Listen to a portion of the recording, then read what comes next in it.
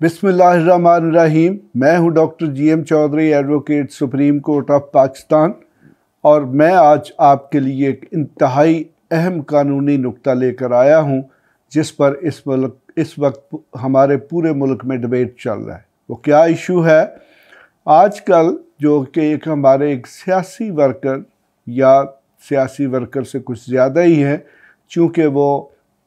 PTI जो हैं, उसके जो चेयरमैन हैं, इमरान अहमद ख़ान, उनके जो chief of staff Imran Gill साहब हैं, उनको पुलिस ने मुख्तलिफ़ चार्जेस में पकड़ा हुआ है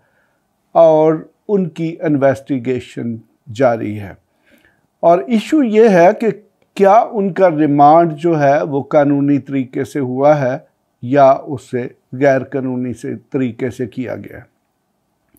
यहाँ पर मैं आपको ये बताता चलूँ कि जो रिमांड है, ये section 167 code of criminal procedure act nine 1897 जो है 1898 जो है, उसके तहत दिया जाता है। और इसका बुनियादी मकसद क्या है? देखिए, हमारा आइन जो है, उसमें भी ये दिया गया है और हमारा ये जो सेक्शन 167 है इसमें भी दिया गया है कि जब पुलिस किसी शख्स को गिरफ़्तार करती है तो उसे वो 24 घंटे से ज़्यादा अपनी हिरासत में नहीं रख सकती। मतलब ये है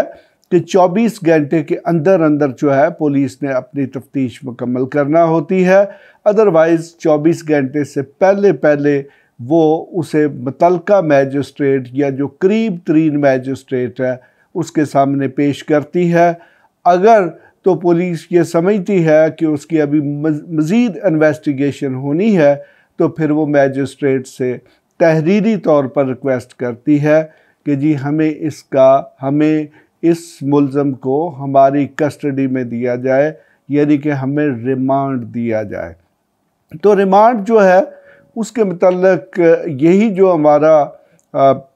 ये जो कोड ऑफ़ क्रिमिनल प्रोसीजर है, इसमें जो मैक्सिमम मुद्दत दी गई है, वो पंद्रह दिन की दी गई है। और मेरे ख्याल में किसी भी बड़ी से बड़ी इन्वेस्टिगेशन जो है, उसको मुकम्मल करने के लिए पंद्रह दिन का रिमांड जो है, यानी कि पुलिस कस्टडी काफ़ी होती है। लेकिन आम तौर पर हमारे जो जजेस हैं और जो सेक्शन 167 है, वो ये बताता है कि ये जो रिमांड है, ये मैजिस्ट्रेट ही देगा और ख़ास तौर पर फ़र्स्ट क्लास का मैजिस्ट्रेट सेकंड क्लास और थर्ड क्लास का मैजिस्ट्रेट जो है वो रिमांड नहीं दे सकता। लेकिन अगर प्रोविंशियल गवर्नमेंट जो है उसने उसको बाकायदा तौर पर अथराइज़ किया हो तो फिर वो भी रिमांड दे सकता है। तो आम तौर पर दो दिन, चार दिन छः दिन या जुर्म जो है उसकी नोयत के मुताबिक जो है रिमांड दिया जाता है। और इस केस में जो शहबाज गुल हैं, उनका पुलिस की कस्टडी में रहे, फिर उसके बाद उनका दो दिन का रिमांड दिया गया, जो कि पूरा होने पर मुतल जो मैजिस्ट्रेट है, उसने उसको, जो है, वो जुडिशल कस्टडी यानी कि जेल में भिजवा दिया फिर उस ऑर्डर के ख़िलाफ़ एक निगरानी दायर होती है, जिसे हम क्रिमिनल रिवीजन कहते हैं, और उसमें जो एडिशनल सेशन जज हैं उन्होंने मज़ीद रिमांड दे दिया, जिसको हाई कोर्ट में चैलेंज किया गया और फिर हाई कोर्ट ने केस को रिमांड किया और फिर उसमें दो दिन का मज़ीद रिमांड दे दिया गया। पहले नंबर पे जो हमारी कानूनी तारीख है, उसमें ये एक अनप्रेसिडेंटेड है, यानी कि ये एक रेयर वाक़ है कि जब किसी मुलम को पुलिस की कस्टडी से जुडिशल कस्टडी में यानी कि जेल में भिजवा दिया जाए तो उसका दोबारा से रिमांड दे दिया जाए। उसकी वजह यह है कि ये जो सेक्शन 167 है, ये क्लियरली बताता है कि मैजिस्ट्रेट जो है, वो अपने आप को मुतमिन करेगा और जो भी पुलिस की रिपोर्ट आएगी और जो भी शाहिद पुलिस पेश करेगी, उनकी रोशनी में वो ये फ़ैसला करेगा कि क्या मज़ीद रिमांड जो है वो एक्सटेंड यानी कि उसमें तोसी होनी चाहिए कि नहीं होनी चाहिए। तो इसका मतलब ये है कि जब मैजिस्ट्रेट ने एक मरतबा पुलिस की कस्टडी को ख़त्म करके जो मुलम है उसको जुडिशल कस्टडी में जेल में भिजवा दिया तो वहाँ पर कोई ऐसी ग्राउंड्स मौजूद नहीं थी जिसकी बेसिस पर मज़ीद रिमांड दिया जा सकता। बहरहाल,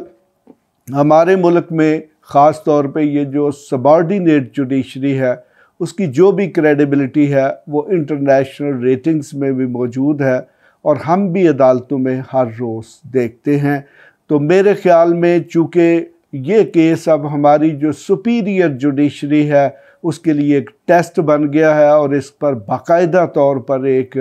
जुडिशल कमीशन बनना चाहिए। जो ये देखे कि क्या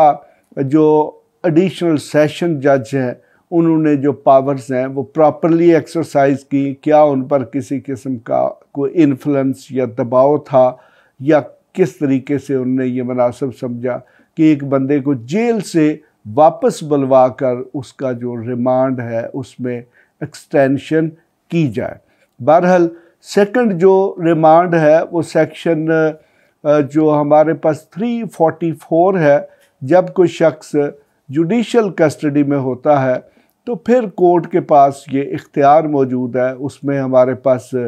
मैजिस्ट्रेट फ़र्स्ट क्लास की कोर्ट भी शामिल है, उसमें सेशन जज की कोर्ट भी शामिल है और उसमें हाई कोर्ट्स भी शामिल है। वो अगर मुनासिब समझे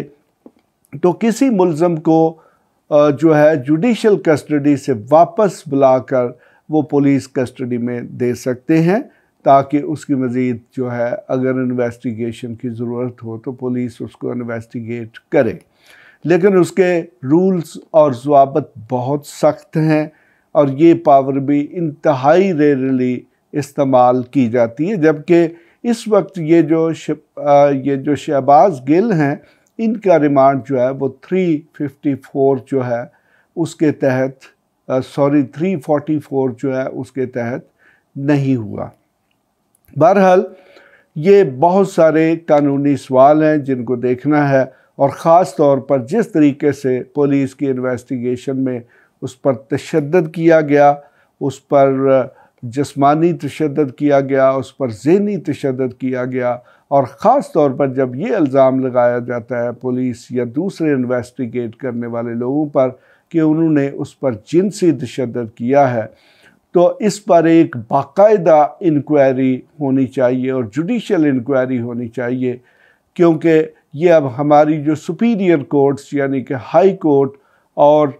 सुप्रीम कोर्ट के लिए एक टेस्ट केस है कि क्या वो पाकिस्तानी जो हैं, उनके फंडामेंटल राइट्स की बात करते हैं या नहीं। ख़ास तौर पर इस्लामाबाद हाई कोर्ट जो हैं, उनके, उसके जो चीफ जस्टिस हैं, उनकी तो फंडामेंटल राइट्स के हवाले से बहुत ज़्यादा रेपुटेशन है, ख़ास तौर पे जब उन्होंने ये जो कवन हाथी था, एलिफेंट था, उसका एक नोटिस लिया और उसको फिर बाकायदा तौर पर पाकिस्तान से जो है दूसरे मुल्क में उसकी जो सेंचुरी थी उसमें पहुँचा दिया गया। तो अब यहाँ पे जनाब किसी हाथी के, किसी कुत्ते, किसी बिल्ली या किसी और जानवर के राइट्स का का मसला नहीं है ये एक इंसान और वो भी एक सियासी जमात के एक प्रामिनेंट शख्स का आ, के फंडामेंटल राइट्स का मसला है। तो अब देखते हैं कि हमारी हाई कोर्ट और सुप्रीम कोर्ट क्या करती है क्योंकि बिल आखिर हमारे आइन के तहत हमारी हाई कोर्ट और हमारी सुप्रीम कोर्ट जो है वो पाकिस्तान, पाकिस्तानियों के जो फंडामेंटल राइट्स और बुनियादी हकूक़ हैं, उनकी वही कस्टोडियन और जामन है। और ख़ास तौर पे इस्लामाबाद एक बहुत छोटी सी टेरिटरी है 906 किलोमीटर का इलाका है। अगर इस्लामाबाद यानी कि एक फुल फ्लैज हाई कोर्ट जिसका जूरिस्टिक्शन ही 906 किलोमीटर है, और फिर एक सुप्रीम कोर्ट ऑफ़ पाकिस्तान की नाक के नीचे इतनी ग्रेव किस्म की वायलेशंस होती हैं तो मेरे ख्याल में आज बीस दो हज़ार बाईस में भी पाकिस्तानियों के जो बुनियादी हकूक़ हैं फंडामेंटल राइट्स हैं, वो महफूज नहीं है। आज भी उनके साथ डिक्टेटरों के अंदाज से और फाशिस्ट स्टेट की तरह डील किया जा रहा है, जो कि नहीं होना चाहिए। और इसी में जो पुलिस है या जो भी एजेंसीज इसमें इन्वॉल्व हैं जिन्होंने इस किस्म का बेईमाना तशद किया है, उन अफसरों को नौकरियों में नहीं होना चाहिए और उनके ख़िलाफ़ मुकदमात दर्ज होने चाहिए और उनको करारवा की सज़ा देनी चाहिए। इसके साथ ही मैं डॉक्टर जी एम चौधरी आपसे इजाज़त चाहता हूँ। आपके लिए मज़ीद इस केस पे जो डेवलपमेंट होगी, उसके अपडेट लेकर हाज़िर होता रहूँगा। Thank you very much